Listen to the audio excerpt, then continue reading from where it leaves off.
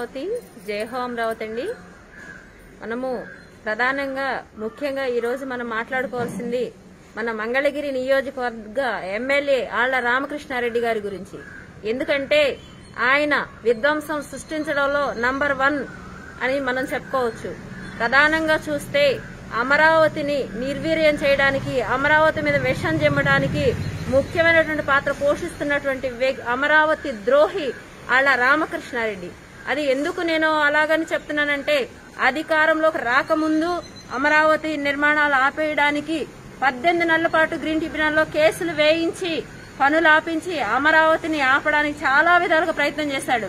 భూములు ఇచ్చే వాళ్ళ దగ్గరికి వెళ్ళి తన అనుచరులతో భూములు ఇవ్వడం దగ్గర గొడవలు పెట్టి క్రియేట్ చేసి సృష్టించినటువంటి వ్యక్తి ఆళ్ళ రామకృష్ణారెడ్డి. అలాగే ఈ రోజు ఆ దళితులు ఎవరైతే ఉన్నారో వాళ్ళు వాస్తవానికి అసైన్ ల్యాండ్స్ ఉన్నాయి.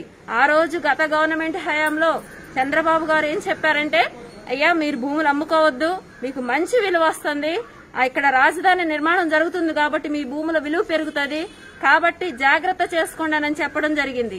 కానీ ఈ ఘనుడు ఏం చెప్పాడంటే తన అనుచరులను మా రాజధాని గ్రామాల్లోకి పంపించి వాళ్ళతో ఇవి అసైన్ ల్యాండ్స్ గవర్నమెంట్ ఏ సమయంలోనే తీసుకునే ఆ హక్కు గవర్నమెంట్కుంది.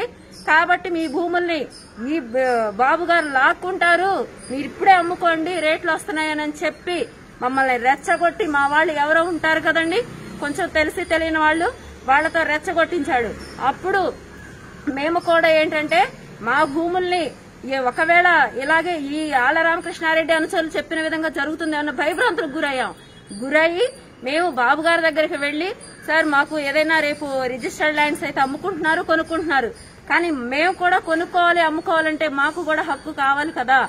కాబట్టి మా భూములకు అలాంటిది జీవో ఏమైనా ఉంటే పాస్ చేయమని ఆ ఫార్టీ వన్ జీవోని తెచ్చుకోవడానికి మేము చాలా శ్రమించి మేము ఆ- ఆ జీవోని ఇప్పించుకోవడం జరిగింది. దాని ద్వారా ఆర్థికంగా మేము లబ్ధి పొందడం కూడా జరిగింది.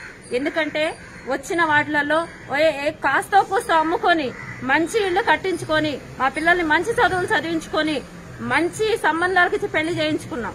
ఇలా మా ఆర్థిక జీవనం ఎదగడం ఇష్టం లేనటువంటి ఆళ్ళ రామకృష్ణారెడ్డి వాళ్ళ గవర్నమెంట్ అధికారంలోకి రాగానే మా దళితులపై విషం చిమ్ముతూ ఆ ఫార్టీ వన్ జీవోను రద్దు చేసింది. ఈ రోజు మా పరిస్థితి ఏంటండి? అక్కడ కనీసం మేము ఎక్కడైనా తనఖా పెట్టుకోవడానికి కూడా మా భూములు ఎవరు తీసుకోవడం లేదు. ఫలసాయం లేదు ఒకవైపు. ఇంకొక వైపు పిల్లలు పెళ్ళిళ్ళు చేయాలని గొంతు మీద సమస్యలు వస్తున్నాయి. ఎవడు తీస్తాడు?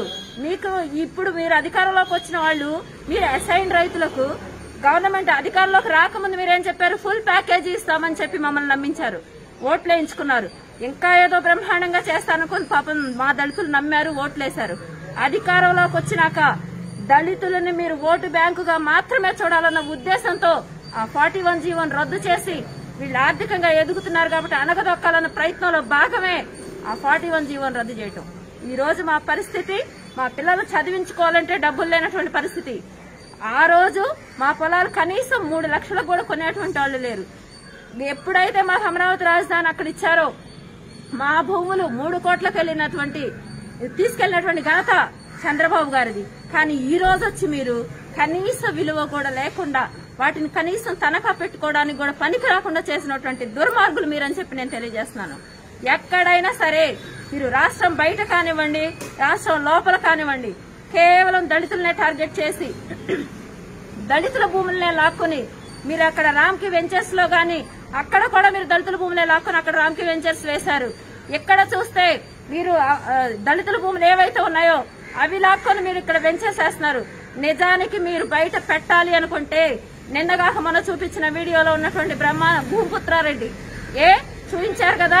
మీరే ఆడియోస్ తీసుకొని వాళ్ళ దగ్గర నుండి మీ మనిషిని సైడ్ చేసి ఎవరిని హింసిద్దామని మీకు నిజంగా చిత్తశుద్ధి ఉంటే అతను ఎందుకు అరెస్ట్ చేయలేదు? నిజానికి మా భూములు ఎవరు లాక్కోలేదని మేము చెప్పాం. మీ అనుచరులతో కొంటేనేమో అది మా అది కరెక్టే. ఎదుటి వాళ్ళు ఎవరు తప్పు చేసినా చేయకపోయినా మీరు చూపించాల్సింది టీడీపీ పార్టీనని చెప్పి మీరు కావాలని ప్లాన్ చేసుకున్నారు. కానీ మీరేసినటువంటి ఎప్పుడు మీరు చెప్పే కళ్ళబొల్లి కబుర్లు కళ్ళబొల్లిగానే మిగిలిపోతున్నాయి. మీరు ఒక డ్రామా ఆర్టిస్ట్ గానే జనాల్లో మిగిలిపోతున్నారు తప్ప ఏ ఒక్కటి కూడా మీరు ప్రూవ్ చేయలేకపోయారు. నిజానికి ప్రూవ్ నిజంగా అక్కడ జరుగుంటే మీరు ప్రూవ్ చేయాల్సింది. చెయ్యలేకపోయారు. మాటలతోనే కాలం గడుపుతున్నారు. కానీ నేను ఒక్కటే చెప్తున్నాను. ఏ దళితులనైతే ప్రతి ఒక్క చోట మీరు తక్కువగా చూస్తున్నారో ఏ మీరు మీకు ఏ సమస్య వచ్చినా మీకు మినిస్టర్ పదవులు కావాల్సి వస్తే దళితులు కావాలా? దళితుల విషయం తీసుకొస్తారా? ఏ సమస్య అక్కడ లేకపోయినా కానీ ఉందని చెప్పి మీరు చూపిస్తున్నారు. మీకు నిజానికి అంత చిత్తశుద్ధి ఉంటే దళితుల రాజధాని దీన్ని డెవలప్ చేసి చూపించండి. నాలుగు దళిత వర్గాల మధ్య అమరావతిని తీసుకెళ్ళడానికి ఎన్నో ప్లాన్ చేస్తున్నారు మీరు. ఇక్కడ అభివృద్ధి చేసి చూపించండి. అసైన్ రైతులు ఫుల్ ప్యాకేజీ ఇవ్వండి. అసైన్ వాళ్ళ కౌళ్ళు ఎందుకు వేయలేదని చెప్పి నేను అడుగుతున్నాను. అదే దళితుల్ని ఏ దళితులను అయితే మీరు హీనంగా చూస్తున్నారో అదే దళితులు మిమ్మల్ని తరిమి తరిమి కొట్టే రోజు వస్తుందని చెప్పి నేను తెలియజేసుకుంటున్నాను. జయ అమరావతి జయ హో అమరావతి.